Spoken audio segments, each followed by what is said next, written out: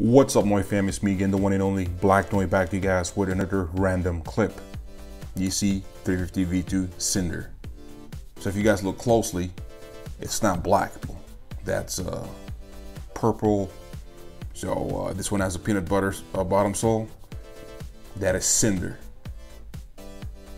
They call it Earth for obvious reasons.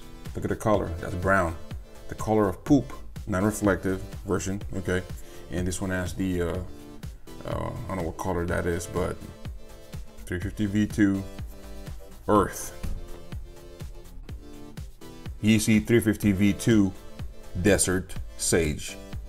So this one has this gray coloring over here. It has this creamy translucent uh, bottom sole, no heel tab. 350 V2 Desert Sage. Let me ask you guys this. Out of these three colorways, which shoe do you prefer?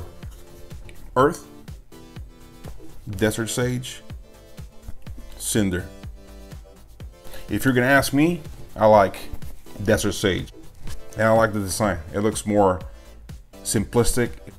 All right, so if I'm gonna rank these shoes from one through three, I'll rank this one one, two,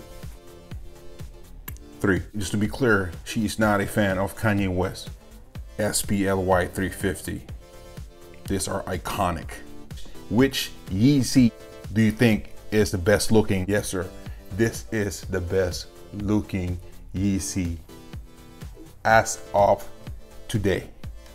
I don't know how Adidas and Yeezy could top this off. This is like iconic, man. I'll see you guys in the next vid. I'm out.